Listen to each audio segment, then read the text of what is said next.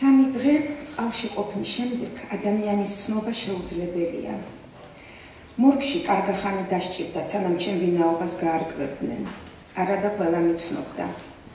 ერთი ცნობილი მწერალი ქალიც დაიხრჩო ასე მდინარეში, მაგრამ იმან თავად ჩაიწყო ჯიდეებში ქვები.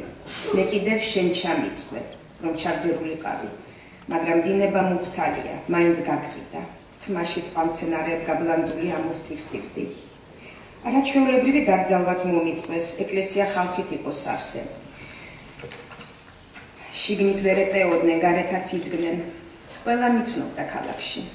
30 წელი ვიმუშავე საავადმყოფოს კაფეში და ხალხი მეც თითქმის ექიმად მთვლიდა.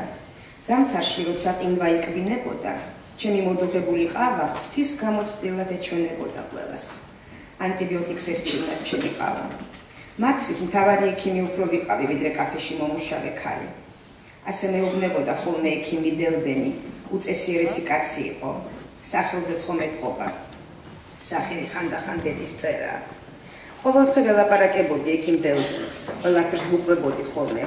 იმ დღეს ისიც გავუმხილე ბოთლი რო ჩამარტყი თავში, როცა ჩემ ჩანთაში ფათურობდი და წაგასწარი. სათამაშოდ გინდოდა ის ფული. მეუბნებოდი ჩემ დასთან მივდივარ მარგერაშიო. სინამდვილეში კი ვენეციის კაზინოში გარბოდი და ფეხს არ იცვლიდი იქიდან, სანამ ბოლო ლირას არ წააგებდი. მერე დაიფიცე მორჩა, თამაშებეშვიო, მუშაობას ვიწყებო, შემომიძვერი, მელახუცებოდი, სახშიც მეხმარებოდი. ერთხელ რესტორანშიც კი წამიყვანე ქალაქში, ყვავილებიც მომართვი. ერთხელ დილას სურპრიზიც კი დამახვედრე. უნიტაზის ბაკი შეგიკეთებია. ზუსტად იმ დილას დამარწმუნე, საჩივარი გამეტანა. ექიმი დელბენი კი მაფრთხილებდა, იცოდე არ გაიტანო საჩივარიო. მართლა წესიერი კაცი იყო. აი მაგას ნამდვილად ვასესხებდი ფულს, მაგრამ შენ არა. შენ мама შენიც აღარ გენდობოდა. ჩემ დანაზოგს ვერ მიაგენი. ჩემ დიშულს ვაძლებდი ხოლმე. იმას საჩუქრების მაღაზია რომ აქვს უდინეში. ან ლიფში ვმალავდი, მაინც არ მეკარებოდი ბოლო თვეები და როგორი პოვიდი. ფულს რომ თხოვდი, გეუბნებოდი არ მაქვს მეთქი. და ალბათ მაშინ დაგებადა ეგაზრი. ეფემია მქვია. ხო ვიცი, იმ გოგოს სახელს გავს ჩემი სახელი. ისიც მდინარეში დაივრჩო. მაგრამ ის ჰამლეტის სიყვარულის გამო მაინც მოკვდა.